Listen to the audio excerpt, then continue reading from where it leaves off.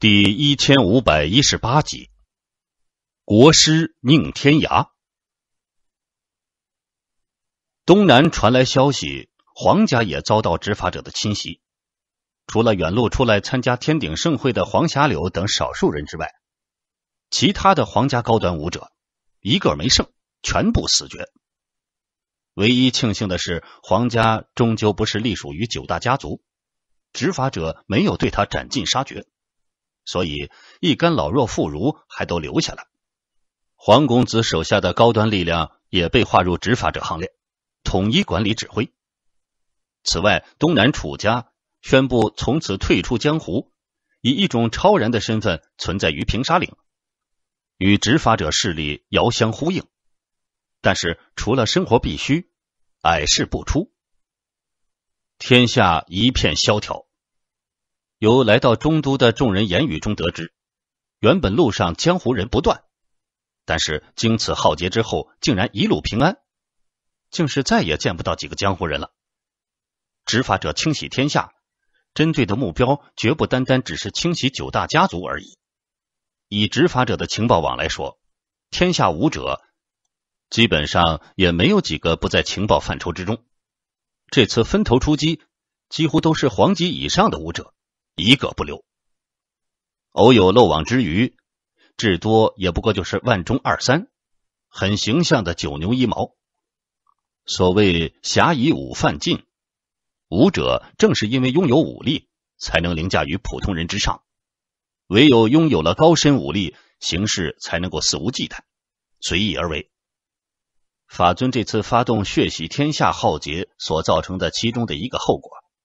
就是大大减少了天下武者的数量，尤其是高端武者的数量，从而大幅度的减少武者依仗自身武力横行无忌的事情发生，也从另一个侧面形成了另类意义上的止戈。是功是过，也就只好见仁见智了。岳灵雪和风雨柔则率领残余的执法者，先将天下渐次规整。然后就会休养生息一段时间，静静的等待大陆上烽烟再起。到那时，便是有识之士揭竿而起，率众建立新国家、新秩序。这个过程当然也是充满血腥的，但是这次血腥过程却是必要的，更加是必须的。只有等到流血之后，才能有一个个的皇朝矗立。从此之后。九大家族主宰九重天的日子将一去不复返，取而代之的乃是王朝统治。叶家大院中，在商议这些以后的天下大事，第五轻柔和莫天机等人都有参与。楚阳抱着孩子与宁天涯悄然的走出来。宁老以后何去何从呢？楚阳有一搭无一搭的问道。老头子，我不准备上去了。宁天涯有些萧索。当初上去又被大人赶下来，老夫就淡了这份情绪。而且我也知道，老夫这个所谓的天下第一高手，并不能在九重天阙生存的。否则又何必让我下来？别人难道就不能做这件事啊？一生中有些事情，有些经历，曾经有过也就够了，无需强求，强求无益。楚阳了然点头。此老数万年阅历，早已看破事情，胸中自成沟壑不至于物。就是有一点呐，我的徒儿青舞丫头，以后。你一定要对他好点儿。等到铁阳成为国君，老夫就在下三天的铁云当个国师吧。楚阳目瞪口呆，国师宁天涯说什么都不敢相信，竟然会出现这种不可能发生的事情。以宁天涯这等闲云野鹤的性子，居然要当什么国师？就算谭谭这种超级不着调的人突然成了法尊，楚阳也绝不会如此这般的惊讶。嗨，你以为我愿意呀？这是你那个宝贝儿子塞给我的官职，而且我之所以不上去，也就是要在这下三天冷眼看着轮回之道。九重天却有路，人间未必没有。修行者前行之路，未必只有一条啊！楚阳缓缓咀嚼着宁天涯的最后一句话，突然间感觉到受益无穷。九重天阙有路，人间未必没有。修行者前行之路，未必只有一条。臭小子，你要跟我商量什么事啊？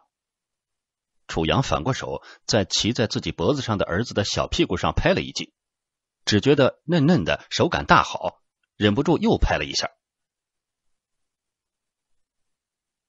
我来就是想问问爹爹，你听说你的修为已经达到破碎虚空的标准，就要离开这个世界了。要是你离开了，我娘怎么办呢？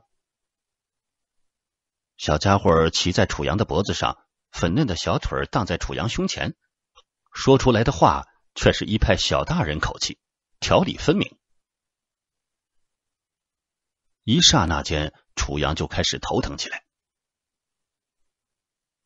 关于这件事情，我曾经跟你娘商量过，我也有秘法可以让你娘迅速提高修为，跟随为父上去。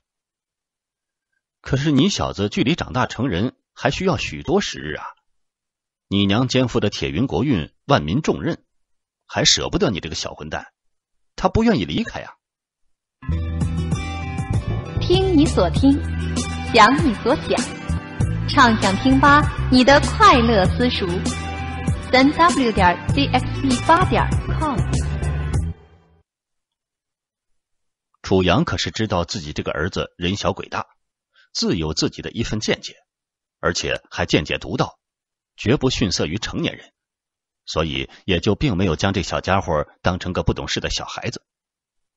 想起铁补天的那份坚决，楚阳是真真的头疼之极。在楚阳想来，自己的女人就应该义无反顾的跟随在自己身边才是，老是两地分居，天地之隔，这算什么事儿啊？然而铁补天的选择却是义无反顾的留下。事实竟是如此残酷加狗血，而又超级令人无语到抓狂。我有个办法，不过需要你配合。小家伙叽叽咕咕的一笑，凑近楚阳的耳朵。好啊，妙啊！楚阳眉飞色舞，转头看到宁天涯，眼珠一转，对宁天涯道：“宁老，这事说不得。”还得麻烦您走一趟啊！应天涯不由得警惕：“干什么呀？你小子不是又踹什么坏了吧？”宁老，你不用这么防备我吧？我就是想你前往下三天一次，把这小子的母亲带上来，一来让他知道儿子下落，放下心来；二来呢，顺便的认祖归宗。这第三嘛，以后的事情怎么也要商量一下啊！楚阳心里清楚，自己是不能去的。要是自己去了，在下三天盘桓全无实质意义。说不定铁补天还有顾虑，不愿意到上三天来，直接让宁天涯把他带上来，一切事情就在这里解决，那是最好的。有儿子在这儿，以铁补天对孩子的疼爱来说，绝不可能不来。儿子啊，就是那小娘们的命根子。宁天涯欣然道：“哦，是这样。事不宜迟，我马上动身。你们一家呀，也确实该团聚几日了。如此有劳宁老了。”看着宁天涯一道流光一般急速消失，楚阳的心头也放下了一大半心事。剩下的就是大家的事情了。小家伙这么一提醒。楚阳却又想起另外一件事：自己等人一走，大伙儿的家人又该怎么办呢？孤独行的小妙姐，寂寞的呼延傲波，谢丹琼的妻子，傲邪云的一众侍妾，各自兄弟的家人，他们怎么安置啊？全都舍弃掉吗？这显然是不可行的，而且没有人会愿意。要是谁这么说的话，估计楚阳就得首先站出来揍死那个谁。哎，这事儿还得找大家一起商量。楚阳紧紧的皱起眉头，一时间感觉头大如斗。在没有达到这个层次的时候，根本不会想到这么多，可是现在却必须要考虑。这事儿可怎么办呢？咱们这一去之后，想要下来，只怕都不大可能了。要不然这么多年，为什么也没什么人下来过呀？所以说，带着一起走是必须的。可问题是，怎么才能带上他们一道上去啊？他们的实力明显不够，差的太多了。对呀，再说了，上去之后，一切从最初起步，前路可想而知，步步荆棘，步步惊心呐。生死难关比九重天还要多得多，他们貌似连起码自保的能力都没有啊！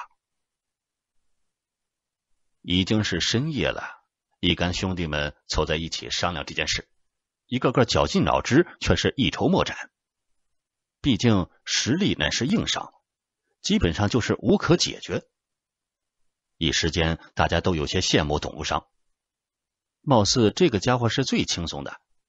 要不说憨人有憨福呢，莫雷尔也已经达标，甚至还要超出极限。这两个人是可以无牵无挂的一道飞升上去了。董无伤皱着眉头苦苦思索，越是老实人想的就越少。最起码现在的他压根一点都没有为自己欣喜，也没有松口气的感觉，反而觉得内疚起来。就自己和和美美的上去了。兄弟们却都做不到，那那自己也太不是东西了。这事儿可怎么办呢？董无伤想的脸都黑了，一片的长吁短叹。众人都是无计可施，所有人的目光同时看向莫天机。莫天机终于急了：“你们都看着我干什么呀？难道你们以为我会有什么办法让他们一夜间都达到破碎虚空的地步？你们真以为我是神仙呀？”就算神仙也没这种大能来着，这没困难要上，有困难也要上，没办法也得想办法啊！寂寞和戒丹琼、傲邪云不依不饶，这一去那可是生离死别啊，最起码几十年不能见面的。等到我们回来，那真不知道啥时候啊！说不定到时候红颜白发、沧海桑田，甚至那就是生离死别呀！要不咱们就都不上去了。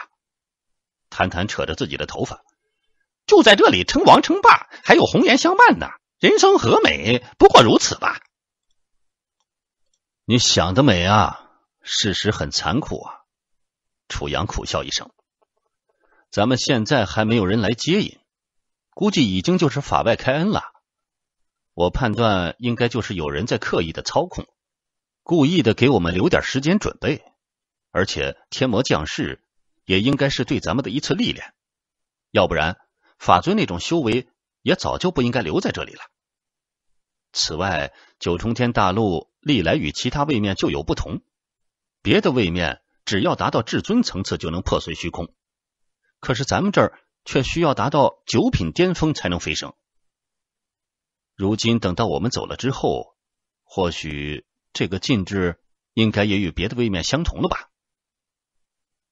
楚阳皱着眉头分析，越分析越是感觉头大如斗。这都他妈的什么事儿啊！老天，你不是在玩我们吧？我倒有个不是办法的办法。九阶空间里，剑灵弱弱的说道：“只不过呢，就算真上去了，也存在一定的风险啊。要不，还是不说了吧。”楚阳精神一振，到底什么办法？说呀，你倒还拿一把，快说！我当初跟你提到过，咱们这九节空间不能装活物的。可是现在你已经取得了第八节九节剑，能装几个活人进去了？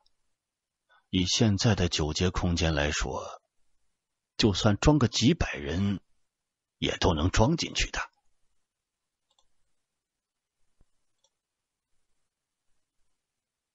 第一千五百一十八集到此结束，欢迎大家